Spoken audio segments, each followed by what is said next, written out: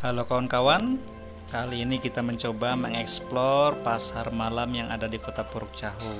Nah, seperti apa sih penampakannya pada malam hari? Nah, di sini kita lihat dari udara, ini adalah pasar malam Kota Puruk Cahu yang di apa namanya dibuka pada saat HUT Kabupaten Murung Raya sampai HUT RI pada bulan Agustus ini kawan-kawan.